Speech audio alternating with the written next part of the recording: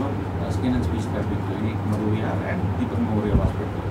Today I'll be discussing a very, very important topic called acne, commonly known as pimples or zits to the teenagers. It's a very important topic, specifically because it affects almost all the teenagers and may extend up to 25-30 years even. The importance lies in the fact that it can be associated with acne scarring, which has a greater impact on the quality of life, especially for a teenager looking for a nice, beautiful image or a face. Therefore, it is very important to treat it at a very, very early stage.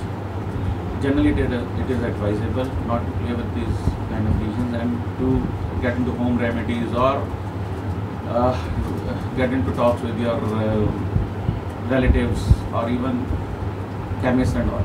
Generally, it is advised to get yourself as early as possible to the local dermatologist, whoever is near your place, and get it treated as early as possible so you can avoid all the scarring that is associated with these diseases. Looking forward uh, for you to do, take good care of acne and avoiding scarring as long as possible.